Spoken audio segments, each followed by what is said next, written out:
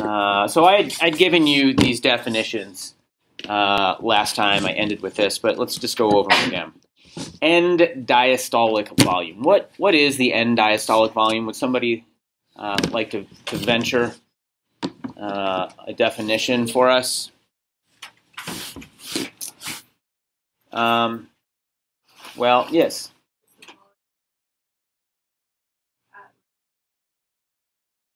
Yes, at the end of relaxation. So and so just listen to the, the word there. It describes itself. The end diastolic volume. So uh, diastole is when the heart is uh, relaxing, not contracting. So just before it's about to contract, just before it's about to eject blood.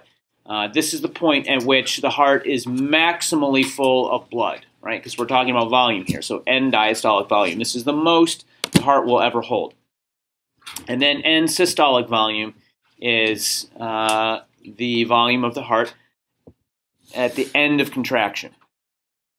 Um, so the difference in those is called the stroke volume. That's how much uh, blood in measured in milliliters is being ejected, or, or cc, is being ejected uh, per stroke or per, per beat. Um, now, when the heart contracts, uh, I, I, cut out a picture. Of, I have used to have this picture that uh, is kind of interesting. Uh, shows the fiber directionality in the heart, and when the heart contracts, it's not just like like this. It actually kind of rings itself out. Uh, the the muscle fibers sort of spiral around the heart towards its apex, and as it uh, contracts, it uh, does this sort of this sort of action, uh, sort of like wringing a towel. It it contracts down uh, that that uh, space, the ventricles. It's a pretty efficient way to contract, actually. Um, uh, however, it's not able to squeeze all of the blood out of uh, the heart. And um, this end diastolic volume is the maximal volume of the heart. The stroke volume is how much blood has been ejected. So uh, the percentage of end diastolic volume uh, represented by the stroke volume is what we call the ejection fraction. All right, and this is really a, a measure of how efficient the heart is being at uh, at e ejecting uh, blood because heart everybody's heart every person is different every person's heart is unique that's a, um, a, a, universal statement there um, and uh, because of that you everyone has uh, unique volumes um, so as a way of kind of normalizing that and, and seeing how efficient your heart is being at uh, uh, ejecting blood uh, rather than look at the uh, total stroke volume, you have to see what percentage of the capacity of the heart that is, and that's ejection fraction. And then um, cardiac output is um, is a number that represents the amount of blood that the heart is able to push out per unit of time. And so this is a function of both stroke volume and uh, your heart rate. How quickly is your heart able uh, to beat? Uh, so it's simply the product of your heart rate and your stroke volume. So milliliters per beat times beat per minute uh, gives you milliliters per minute.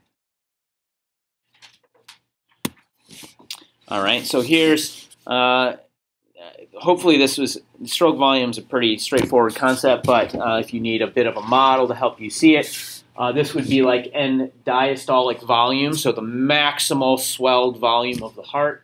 Uh, there's contraction. The blood that is ejected from the pump is the stroke volume, and what's left over in the pump, you don't, you're not able to completely uh, push it all out. This is end diastolic volume. The the percentage of this total volume represented by the stroke volume uh, is called the ejection fraction, and then uh, then diastole is where uh, we fill the heart back up with blood for another stroke. All right.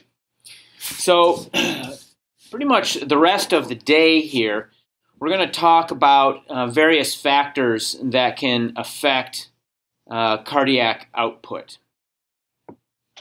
Um, and, I, and since cardiac output is simply the product of your heart rate and your stroke volume, there's going to be really two ways, uh, two general ways we can affect cardiac output. We can affect it via uh, the rate at which the heart is pumping or the volume, the stroke volume um, of, of each uh, beat of the heart. So let's start with uh, heart rate. How can we affect our heart rate? Well, there's there's um, so we know that uh, the heart uh, is auto depolarizing, right? So it the the um, the nodal cells in the uh, SA node uh, reach threshold um, and depolarize uh, autonomously. This does not mean that we cannot affect the rate at which that happens. So we don't think to ourselves, I'm going to cause my heart to beat or I'm going to cause my heart to not beat. Uh, but uh, there are mechanisms um, that are not inherent to the heart that uh, enable variation in this. Uh, these methods involve either the nervous system or the endocrine system. All right, so the, the two forms of control in the body are neural or chemical, right? Uh, neural being um, some sort of thing in the, in the brain, or uh, a uh, endocrine system, some, something from the endocrine system. So uh, first is the autonomic uh, innervation. The we, we don't you know there are uh, there are biofeedback methods whereby you can consciously try to slow your heart down, but in general, uh, that's achieved through engaging the uh, the either parasympathetic or sympathetic autonomic nervous system, and uh, then there are hormones, which we'll talk about in a minute. So, uh, first, uh, autonomic nervous system. Now, I didn't really get, I, I cut this unit out of my uh, chapter on the nervous system, uh, but here's a really, really quick uh, overview of the autonomics uh, as they relate to the heart. All of this lives, the, the, central processing centers for this live in the medulla oblongata. Um, arguably the uh, primordial brain, the, the earliest or the most uh, ancient part of the brain, uh, which handles some of our most uh, vital and basic functions like maintenance of uh, regulation of heart rate. Uh, the two centers in the medulla that do this are the cardioacceleratory center or the cardioinhibitory center. So, cardioacceleratory in this cartoon is shown in red, and the cardioinhibitory center is shown in blue. Uh, the cardioacceleratory center is part of the sympathetic nervous system, the sympathetic autonomics. You'll remember that uh, sympathetic and parasympathetic are the two autonomics. And uh, they have mostly uh, diametrically opposed uh, effects in the body, although not always. There is, in the Venn diagram of those two uh, autonomic nervous systems, there are times when they can both be engaged. Uh, they do have some, some overlapping functions. Uh, but mostly the, the kind of simplistic axiom uh, fight or flight for the sympathetic nervous system and rest and digest for the parasympathetic nervous system uh, holds true. So the sympathetic fibers descend through the spinal cord. They, they have so parasympathetic and sympathetic nervous systems have two really dramatically different ways of uh, engaging uh, with structures in the body. Uh, sympathetic nervous system, the uh, the neurons, the neuronal projection uh, travels down through uh, the spinal cord to have a synapse in the lateral gray horn somewhere. in the spinal cord, and then um, the uh, the secondary neuron emerges from the uh, ventral root of the spinal cord uh, and and uh, blends into a spinal nerve. You can see here uh, where the Uh, this is the dorsal root, the dorsal root ganglion. The dorsal root is all uh, sensory neurons, if you may remember, and this is uh, and the ventral root is all motor neurons. They blend together to form a, a spinal nerve. This is all review. Uh, a spinal nerve is a mixed nerve. It has both afferent and efferent fibers in it from either the dorsal uh, root or the ventral root. But uh, this is, we're talking about efferent here because we're trying to control the heart.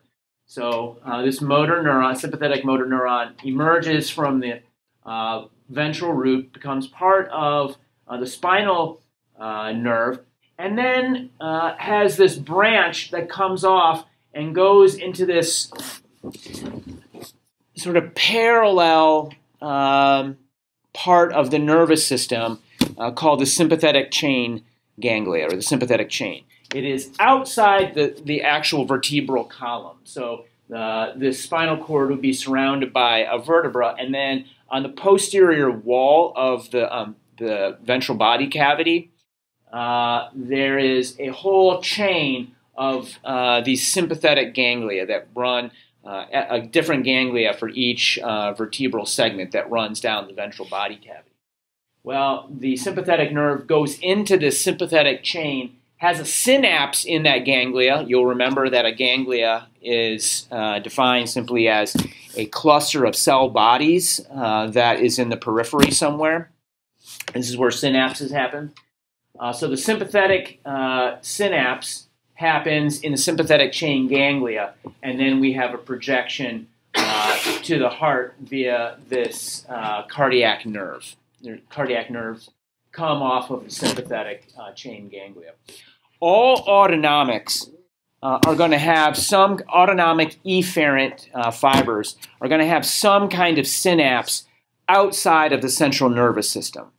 And sympathetic synapse happens in the sympathetic chain ganglia, whereas uh, all parasympathetic synapses happen uh, what's called uh, paramurally. They happen uh, right on the surface of the uh, uh, organ that they're innervating. So we'll get to parasympathetic in a moment. Um, yeah, the, the sympathetic ganglia come through the, the signal comes out of the sympathetic chain ganglia through the cardiac nerve and uh, comes into contact with the, the conduction system of the heart and is able to accelerate the rate of uh, depolarization and thus the beating of the heart. We'll see how that works uh, exactly in a bit. Uh, on the other hand, is the parasympathetic nervous system. Uh, we have uh, the cell body originating in the cardioinhibitory center uh, you have a projection that uh, stays within the medulla to uh, the nucleus of the vagal, uh, the vagus nerve, the vagal nuclei. Uh, the, the vagus nerve, I've talked about a little bit. Have I talked about the vagus nerve? I, I forget sometimes what I did and didn't touch. It's one of the, the 12 cranial nerves. I said I've talked about uh, in general what cranial nerves are. Um, and I think I pointed out a couple that would be important. The vagus is, is an important one uh, for our, our, class here, at least, uh, because um, the name vagus, V A G U S, is related to the, um, the Latin word vagrant, um, meaning wanderer. It is the wanderer of the body, and it innervates all kinds of things uh, from the um, the lungs, it is involved in the heart, uh, the digestive system. It innervates a lot of uh, the viscera in the body. Um, uh, cranial nerve number 10, the vagus nerve. Well, uh, the vagus nerve uh, carries, amongst the other things it carries, these uh, fibers, these parasympathetic efferent fibers uh, GVE fibers, general visceral efferent fibers, uh, along the vagus nerve. Um, and it uh, goes all the way, sends a branch right to the heart uh, where there's going to be this synapse in what's called the cardiac plexus. So I talked about a plexus. Uh, I talked about the cervical plexus as an example of plexuses. There's many of them in the body. Um, and this is simply a mixing of nerves uh, that uh, happens along to distribute various properties uh, in each of the individual fibers that make up the there's this cardiac plexus here. We have a synapse on the surface of the heart, and then uh, it comes in contact with the same elements in the conduction uh, system and slows the heart rate down. Okay. Question about the wiring there a little bit? No. So here's how it actually works. The top uh, panel is a normal heart. It's a normal heart rate. Uh, you're sitting there listening to me, and your heart is maybe beating at 75 beats per minute. Uh, the threshold is is at um, maybe minus 40 millivolts, and uh, when uh, so the cell begins to spontaneously depolarize, it reaches threshold, and uh, and we get uh, a depolarization and then a repolarization uh, with uh, the subsequent um, spontaneous depolarization that happens uh, at the pre-potential until we reach threshold again. Uh, the, the specifics of this uh, give rise to the heart rate that we see there. Um, so now, let's imagine that, um, let's close our eyes and imagine that we are sitting uh, in a beautiful wooded forest and uh, the, the uh, beside a, a, waterfall with a nice mossy on a on mossy bed um, around us, thick green verdant smells filling our nose, the sound of tinkling water, a gentle mist on our face, the uh, the uh, tests and, and rigors of, of midterm week all successfully way in the rearview mirror. We're just sitting here um, in, enjoying this restful, peaceful, uh, bucolic uh, environment. So as we as we sit here, uh, imagining that, um, we are engaging uh, the parasympathetic nervous system, and our heart rate is slowing down. Perhaps our, our heart rate is just ever so slightly uh, slowing down. Uh, this is called bradycardia. Bradycardia. Uh, bradycardia is uh, simply the slowing uh, of the heart rate. Well, how does this happen? This happens because uh, the synapses that are happening on the um, on the pacemaker cells of the heart uh, from these parasympathetic uh, fibers, these GVE fibers, general visceral efferent fibers, uh, are um, inhibitory. They're inhibitory synapses where they, when this cell is uh, repolarizing, in fact, it doesn't just go to minus 60, it hyperpolarizes. It actually enables uh, the cell to go to an even lower uh, base hyperpolarization. So that now, as it spontaneously depolarizes, it has further to go to reach this threshold, the minus, uh, the minus 40. And because it has further to go, it takes longer to get there. Consequently, uh, the heartbeats are spaced further and further apart. All right, that slows our heart rate the parasympathetic uh, autonomics are not initiating uh, heart rate uh, or stopping uh, the, the beating of the heart in any way. They are simply uh, changing the membrane dynamics in between hearts. The spontaneous depolarization, which is inherent to the heart, uh, is still completely active. All right, does this make sense? Yes, no? Okay. So I'm sorry to take you away from uh, the gentle wooded glade that I just had you in, uh, but now let's go to um,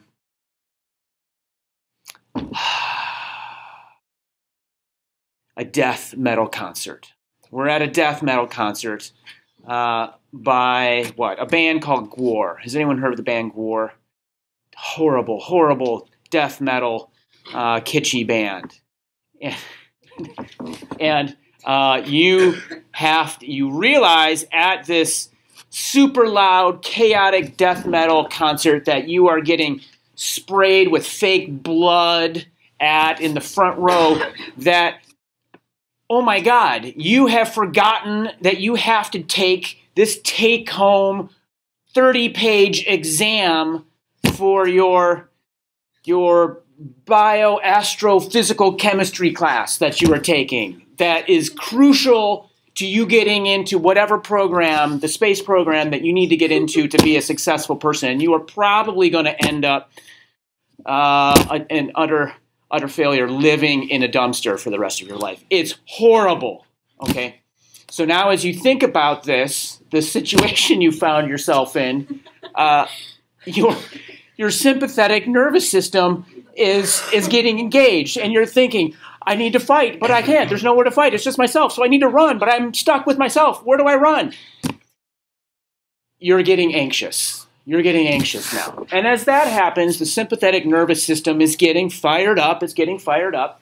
Uh, and the cardioacceleratory system, I'm getting fired up, is, is sending out these signals, and there's synapse in the sympathetic chain ganglia, and the cardiac nerve is firing, firing, firing. The heart on the pacemaker cells in the heart.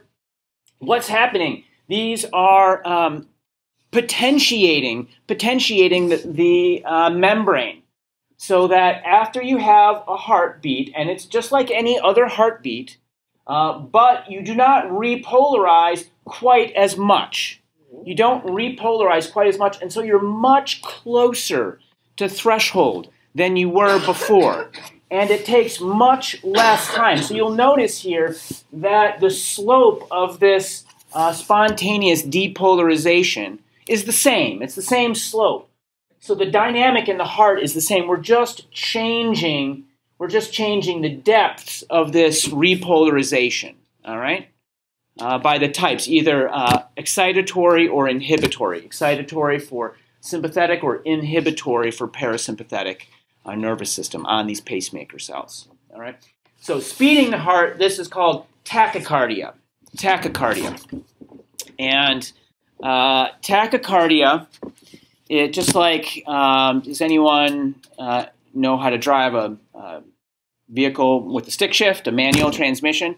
So when you're when you're doing that, um, sometimes when people are uh, doing that, they they look at uh, the tachometer, right? And that's showing the RPM on the thing, and you shift at just the right tach um, or whatever. And it comes from the same uh, root word here, so it just means speed. Tachycardia uh, is a speeding of, of the heart rate, all right? Tachometer, tachycardia.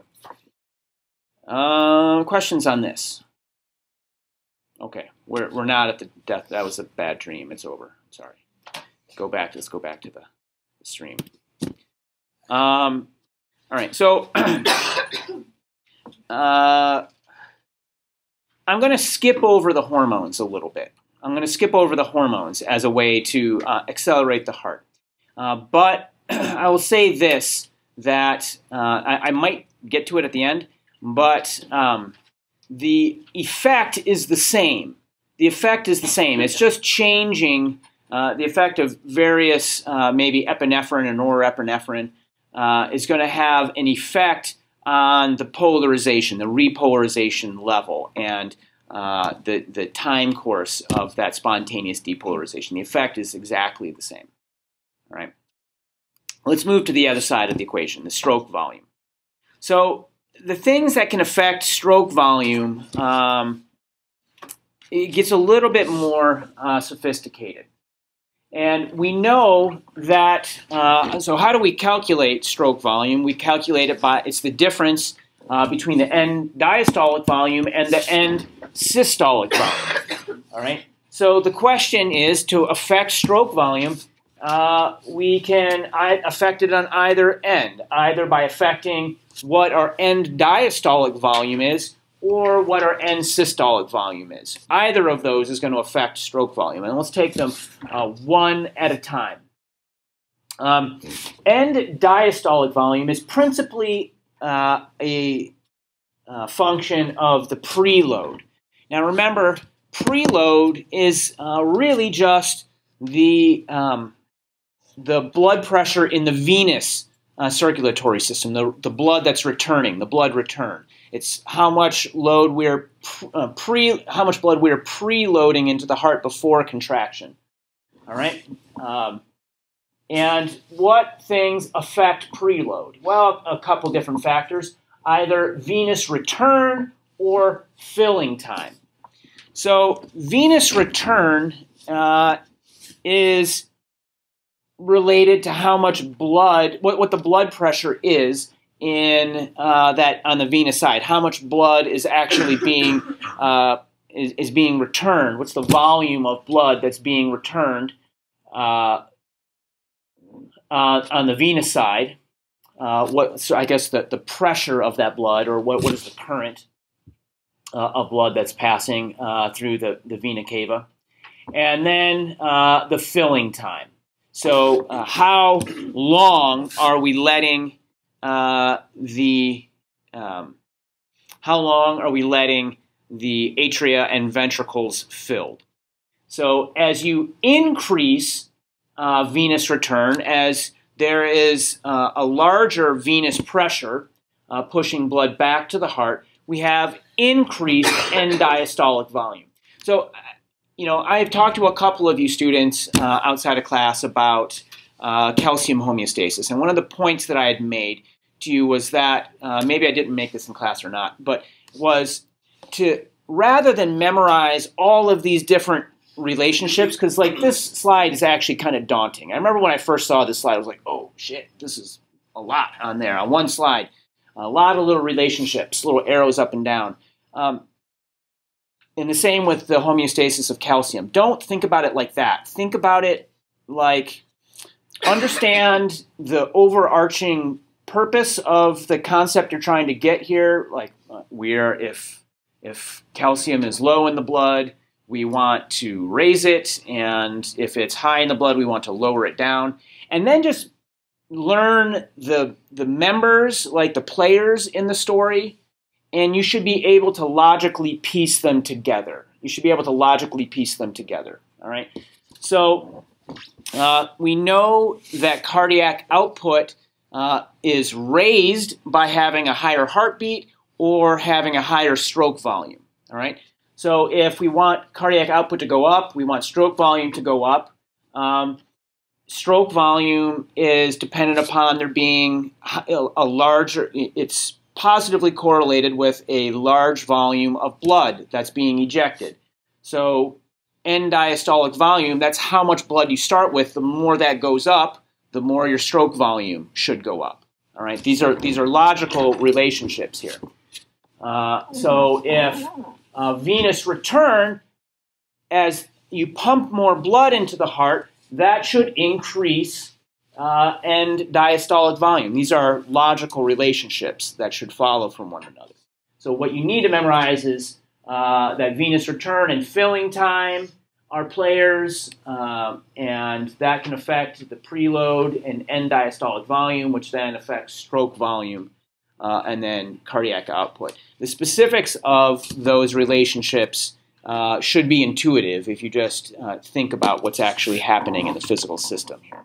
Is that you following me? Now I'll go through each of them specifically for you, but uh, so as venous return goes down, your end diastolic volume goes down. As end diastolic volume goes down, stroke volume goes down. As stroke volume goes down, cardiac output goes down. All right, so it's just a set of dominoes there. And likewise with filling time, the longer you let the heart fill before contraction, the more blood you're going to be able to fill, uh, fit into it. Now, it's not a linear relationship. There is a law of diminishing returns there, of course. Uh, but in general, increase in filling time uh, equals an increase in end diastolic volume. Uh, so that's, uh, that's EDV. On the other side is end systolic volume. How much blood are we able to pump out of the heart? And this is a function of really uh, two things uh, contractility and, and, and afterload. It is indirectly related to preload, but I, I don't want to get into that uh, can of worms quite yet. Uh, so contractility and uh, and afterload. Um, let's let's start with um, let's start with afterload because this is the one that we've already sort of talked about in class. Afterload, uh, what is afterload? Does anyone remember what I said afterload was? You guys remember? So if I said preload was the um, preload was the venous blood pressure related to venous blood pressure. Uh, what is what is afterload? When we go back here, when we go back here, we see that the heart is contracting. It can't actually, in the first phase of systole, ventricular systole, it can't actually eject the blood until the blood pressure in the ventricle equals that of the aorta. Okay? And so uh, that blood pressure in the aorta can be higher or lower depending on who you are and et cetera, a number of uh, factors. Uh, this is what's called afterload. Afterload. It's the heart that's already after, uh, it's the blood that's already after the heart that the heart has to work against to open up that aortic valve and eject the blood. You guys following this? Who's not? Okay. I don't know. I just want students to be honest. Tell me the truth. Um, all right. So afterload is um, positively correlated with an increased uh, systolic volume. But end systolic volume, as the, the larger your end systolic volume is, that means that that's blood you're leaving on the table, that you're not that you're not actually pumping out of the heart. It's it's blood that's reserved still in the heart. All right. So uh, increased end systolic volume means uh, reduced ejection fraction and reduced stroke volume. All right. So as your your afterload goes up, as your blood pressure goes up, your you have your heart has a reduced stroke volume. All right, because the doors of the um, the doors of the aorta if this blood pressure is, if your aortic blood pressure is really high, these doors are going to shut sooner than they might otherwise if you had lower blood pressure. If you had lower blood pressure, then you're going to get rid of a, a, little bit more of that blood in the heart. Okay? Sorry. Uh, so afterload, uh, increased afterload is going to mean less heart, uh, less blood is ejected from the heart, uh, going to mean decreased stroke volume. So, what affects afterload? Um, if you have a number of things, will, but uh, increased vasoconstriction uh, is going to increase afterload. And when I say vasoconstriction, I mean uh, the the constricting of the blood vessels on the arterial side. This is really just reducing the volume of your cardiovascular system, right? And if you're reducing the volume, you're going to be increasing the pressure of that blood there. Vasoconstriction leads to an increase in blood pressure. Uh, as to what causes vasoconstriction, there's various things, the endocrine discussion that we'll get into eventually. But uh, and then if you have vasodilation, where those vessels get bigger, there's a larger volume, the blood pressure will, your, your arterial blood pressure will drop. Um, if that happens, uh, you are going to decrease um, afterload and decrease end systolic volume. If you decrease end systolic volume, that means more blood is being ejected. You have a larger stroke volume and you are able to uh, have higher cardiac output. This is why well-trained athletes uh, it, they have they're the most efficient if they are able to maintain a low blood pressure during uh, during their peak performance because their heart is able to they have a higher ejection fraction because they have lower uh, afterload. You guys following that? All right. So now contractility. Contractility just means uh, so we talked about uh, skeletal muscle a little bit. Cardiac muscle is striated as well. It has the same sarcomere structure. Um, and remember, I showed you that chart that uh, had a picture of resting, mu resting muscle length and tension produced, um, right? So there's like an optimal length of, car- uh, of, of muscle tissue. Same thing happens in the heart that's related to contractility. So, how much uh, is that cardiac muscle able to contract? Is it able to contract significantly or, or not?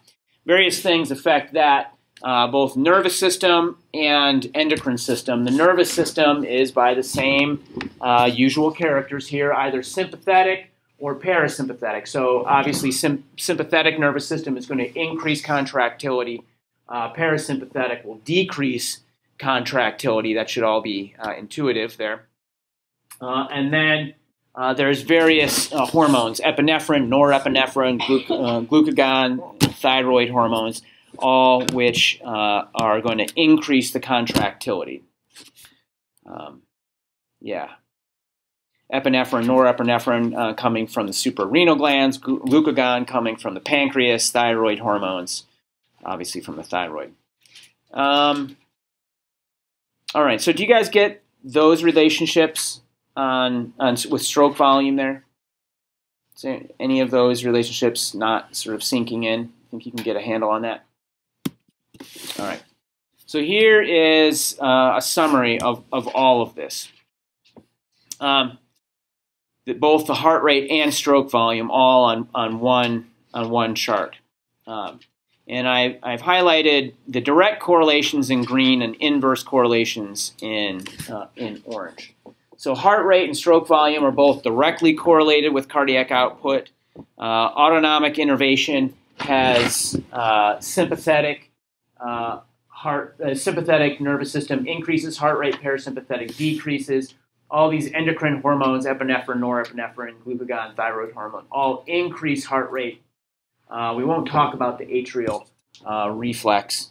We don't have time to go through that. But um, and then on the stroke volume side, end diastolic volume, the, the amount of blood that is in the heart before contraction is directly correlated with stroke volume. So the more blood you have, the more you can eject. Uh, the end systolic, end systolic volume is inversely correlated, meaning uh, the more blood that's left over afterwards, after a contraction, meaning the less blood you actually uh, pumped out. So this is an inverse correlation. Uh, end diastolic volume is a, is a, fact, a function of preload, which is directly uh, correlated with venous return and filling time. Um, I didn't talk about this, but venous return uh, itself is a function of these uh, two things. First of all, blood volume. Um, so, what is your, are you hypervolemic, or have you lost blood, or do you have uh, a high blood volume?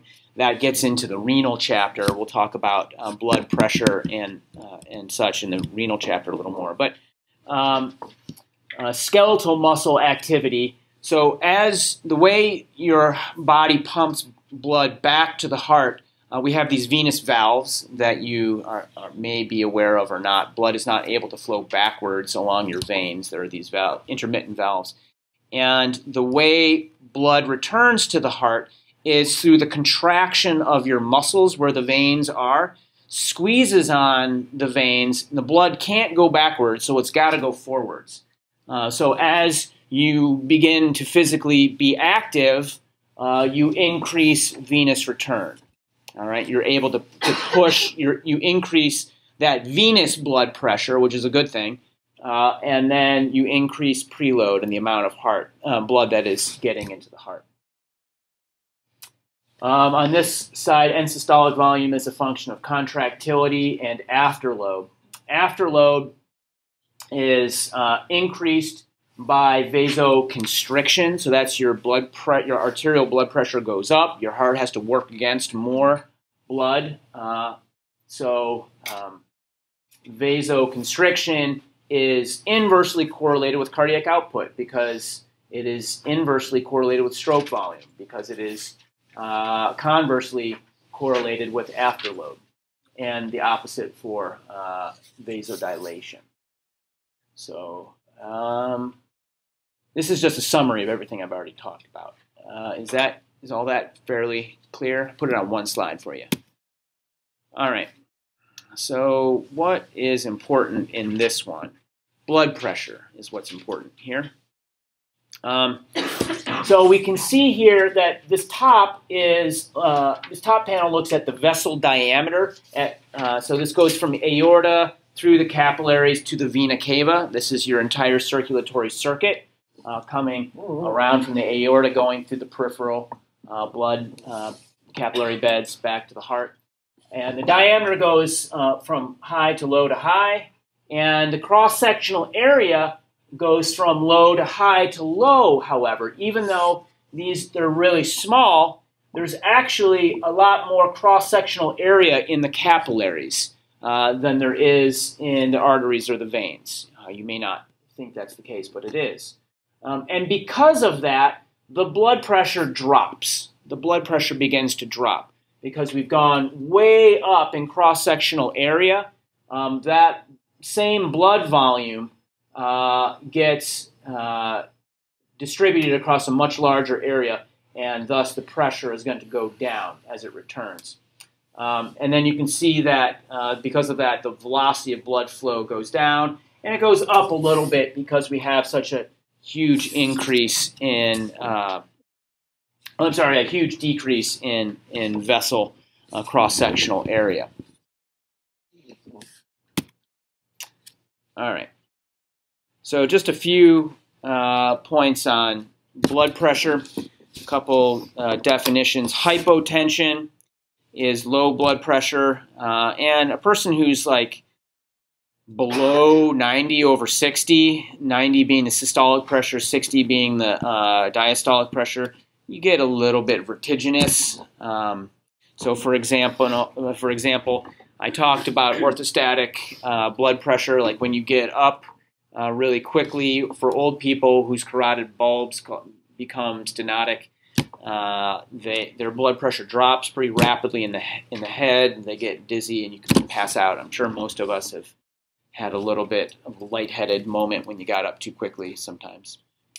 Uh, and then hypertension uh, is more of a chronic uh, problem for uh, for more people, uh, and this can lead to coronary artery disease because of high blood pressure. You get turbulent uh, flow in the uh, coronary arteries of the heart. You get uh, a higher incidence of stroke, heart attack, heart failure, et cetera, et cetera, et cetera. Um, I'm not gonna. I want to make some more interesting points than going through the ranges. Uh, however, so I'm gonna. I, I skip that bottom panel. Let's not worry about it. All right. So how do we actually um, how do we actually regulate the blood pressure? Uh, the hormones, the hormonal thing I'll, I'll, cover in the renal unit because the endocrine system's ability to, to maintain blood pressure um, is, really revolves around the kidney, which is why I kind of skipped it back in the uh, preload portion of the cardiodynamics there. Well, we can talk about the nervous system, though, and the, and the effect of the nervous system on blood pressure. Um, there's uh, an involvement of the central nervous system and an involvement of the peripheral nervous system. Uh, the central nervous system uh, works via the hypothalamus and uh, and various nuclei in the medulla. The hypothalamus uh, will skip because uh, hypothalamus is really the bridge between the central nervous system and the endocrine system as it pumps into the pituitary, and that'll be this ADH vasopressin uh, uh, part of the renal chapter. But uh, the medulla we'll lo- look at in just a moment. And then in the peripheral nervous system, uh, there's the, the afferent side. So when you're thinking about the peripheral nervous system, there's afferents and there's efferents, right? The afferent side uh, the sensory input comes from the baroreceptors that are in the carotid bulb that I've talked about many times at the carotid bifurcation in the throat and uh, in the aortic arch. There's also pressure receptors, baroreceptors, that are in the aortic arch. Um, then, in terms of the efferents, uh, it's both sympathetic and parasympathetic uh, uh, outflow that we've we've already seen a little bit. I'm going to unpack it uh, just a bit. Um, so here is uh, the CNS, um, the CNS part. we talked about uh, the vagus nerve for the parasympathetic efflux, and then I talked about um, the cardio acceleratory nerves that come off the sympathetic chain ganglia uh, that, uh, that increase the heart rate. There are also sympathetic fibers that come out of the uh, same nucleus in the in medulla that are going to affect the blood uh, vessels that lead to vasoconstriction. Uh, they're going to close down uh, the blood vessels, thus increasing afterload and um, uh, and uh, decreasing stroke volume. Uh, what else? So that's that. Then up on the top um, is uh, there, there is input. So I, I had you guys sit there and think about uh, being next to the stream with the waterfall or being at the nasty uh, death metal concert. Not in case any of you like death metal. Death metal's great, lovely death metal people out there. But um, but you know, how was I doing that? There are cortical projections. There are uh, higher cortex projections uh, from the cerebrum down into the brainstem that can affect uh, this this output. Um, and we'll skip the uh, hypothalamus. The rest of that was all in the medulla. So uh, then here is uh, the PNS part. A, a diagram that helps you put this into context again. So I had shown this diagram, and that little bit more complicated diagram earlier of the sympathetic output, uh, output that goes to the sympathetic chain. Uh, we have that cardiac nerve that goes right to the heart, but we also have these other, uh, these other uh, sympathetic nerves that come off the sympathetic chain ganglia uh, that go to the, that uh, affect both afterload and preload of, of these vessels. Meanwhile, the parasympathetics uh, come uh, directly out of uh, the brainstem via the vagus nerve. Um, and then some of the other cranial nerve. Well, vagus nerve brings back the aortic arch. Uh, glossopharyngeal nerve, which is another uh, is another cranial nerve, brings it back from the carotid bulb. All right, I was going to talk about uh, alpha 1, beta 1, beta 2 receptors, uh, sympathetics, but I'm not, I don't have time. That's okay. It doesn't matter. We, we covered a lot. Um, are there any questions? The heart is a beautiful thing.